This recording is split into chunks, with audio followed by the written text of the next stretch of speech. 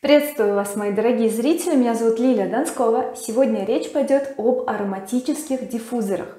Полгода назад мне, как официальному обозревателю, прислали вот такой вот красивый диффузор, серия Swedish Spa.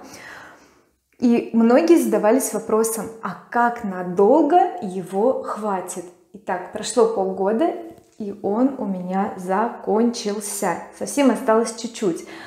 Э, немножечко дополню то что я его уронила и пролила примерно пятую или даже четвертую часть. То есть очень много. В самом начале я его случайно он упал прям в раковину хорошо не разбился. Пролила. Используется по максимуму 6 палочек и три из них даже вот такие вот с большими шариками.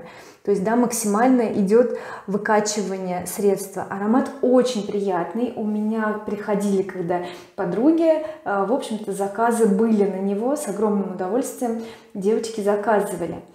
Перед новым годом мы купили еще три диффузора э, в магазине Leroy Merlin взяли апельсиновый лаванда и ванильку попробовать смотрите по объему oriflame 90 миллилитров стоит 929 рублей. Покупные по 45 миллилитров стоят 272 рубля. Тот который используется по максимуму то есть 5 палочек здесь стоит за две недели больше половины испарилась не могу сказать что такой прям сильный аромат заметный нет. А второй я поставила две палочки всего чтобы посмотреть какой будет расход. Э, ушла третья часть. Третья часть то есть их при полном использовании не хватит даже на месяц.